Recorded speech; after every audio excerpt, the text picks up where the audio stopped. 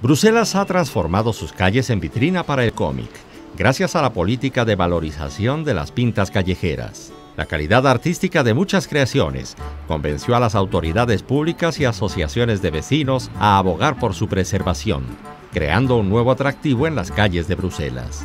En 1991 la administración local decidió ceder los muros de algunos edificios a artistas del graffiti. La colección cuenta con más de 50 pintas que constituyen el llamado recogido del cómic.